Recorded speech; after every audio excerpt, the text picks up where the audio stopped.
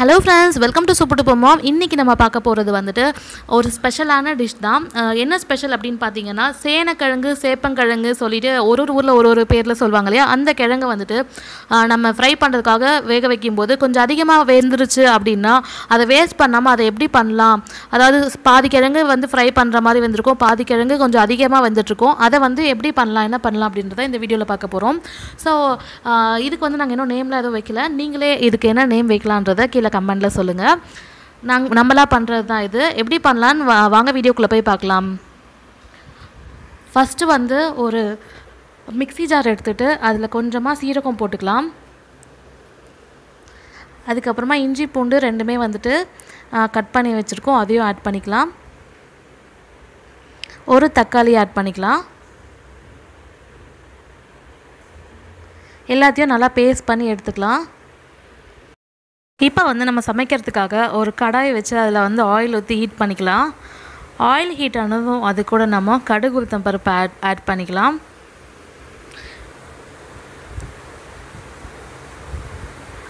இந்த டிஷ்ஷோட ஸ்பெஷல் என்னன்னு பார்த்தீங்கன்னா இது வந்துட்டு நம்ம சப்பாத்திக்கும் வச்சுக்கலாம் ரைஸ்க்கும் வச்சுக்கலாம் எல்லாத்துக்குமே சூப்பராக இருக்கும். இப்போ நம்ம இது கூட கருவேப்பிலை அதுக்கப்புறம் வெங்காயம் வந்து நல்லா பொடியாக கட் பண்ணி வச்சுருக்கோம் அதையும் ஆட் பண்ணிக்கலாம். வெங்காயம் வந்து நல்லா பொடியாக கட் பண்ணால் தான் நிறையா டிஷ்க்கு நல்லாயிருக்கும். இந்த டிஷ்க்கும் அப்படி தான் பொடியாக கட் பண்ணி வச்சுருக்கோம். அதை ஆட் பண்ணிவிட்டு நல்லா வதக்கி விட்டுக்கலாம்.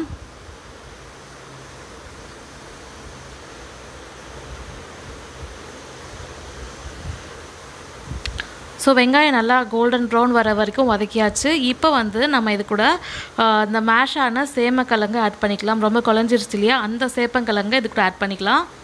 ஆட் பண்ணி நல்லா மிக்ஸ் பண்ணி மேஷ் பண்ணி விட்டுக்கலாம்.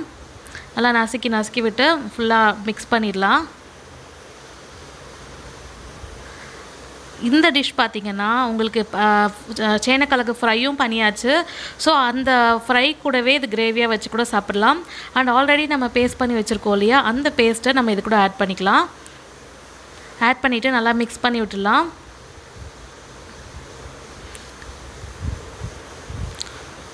மிக்ஸ் பண்ணதுக்கப்புறம் இப்போ இதுக்கு தேவையான மசாலா ஆட் பண்ணலாம் காரத்துக்காக. நம்ம வந்து ஃபஸ்ட்டு ஃபிஷ் ஃப்ரை மசாலா எடுத்துக்கிட்டோம்.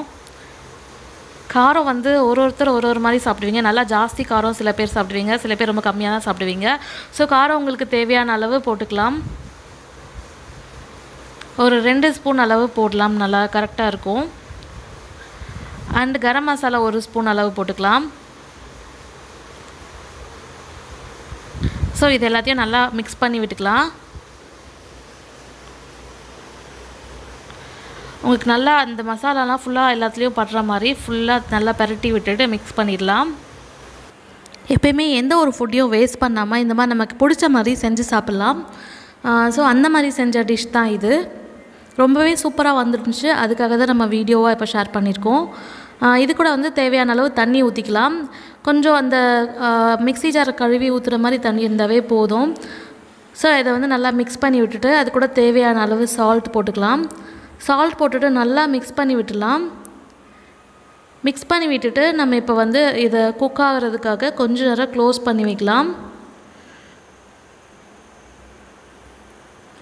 ஸோ இந்த டிஷ் ஆல்மோஸ்ட் ரெடி ஆகிடும் இன்னும் கொஞ்சம் நேரத்தில் இந்த டிஷ் வந்துட்டு நான் ஆல்ரெடி சொன்ன மாதிரி தான் தோசைக்கு சப்பாத்திக்கு ரைஸ்க்கு எல்லாத்துக்குமே சூப்பராக இருக்கும்.